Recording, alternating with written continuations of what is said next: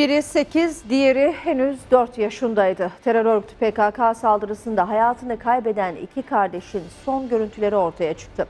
Tunceli'nin komünist başkanı olmasıyla ün yapan Fatih Mehmet Maçoğlu iki kardeş için bir taziye mesajı yayımladı ama saldırıya terör diyememesi tepkileri de beraberinde getirdi.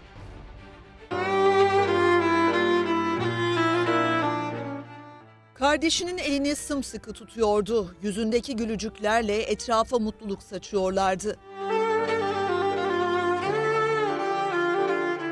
Sanki bir daha göremeyecekmişçesine öpüp kokladı kardeşini.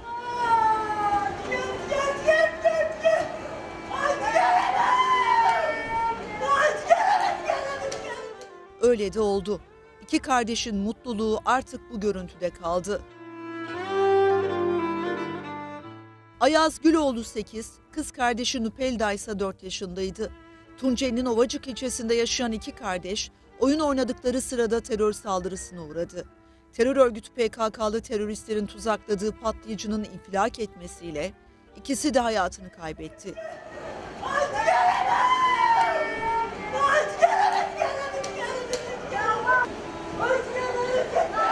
Acı haber sadece anne ile babasının değil, Türkiye'nin de ciğerini yaktı.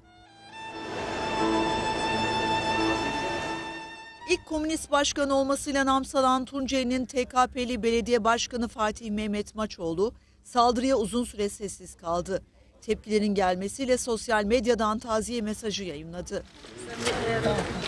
Dersim'in Ovacık ilçesine bağlı Bilgeç köyü kırsalında meydana gelen patlamada 8 yaşındaki Ayaz'la 4 yaşındaki Nupelda Güloğlu adlı çocuklarımız yaşamını yitirmiştir.